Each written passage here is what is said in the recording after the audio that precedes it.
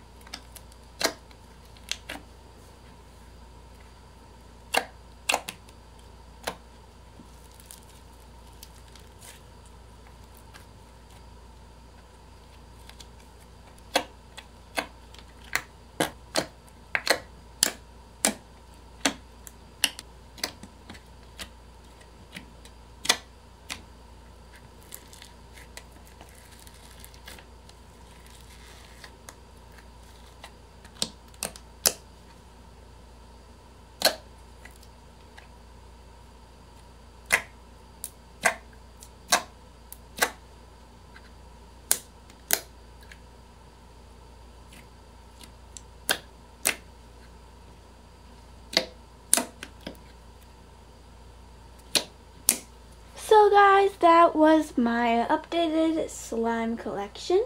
And if you did not watch my last slime collection, you can very clearly tell the difference in the quality of my content. And I was not really good at playing with slime in that video. And comment down below any things I did wrong in this video. I really would love to know. So I hope you guys enjoyed the video. And I guess I'll see you guys next time. Bye!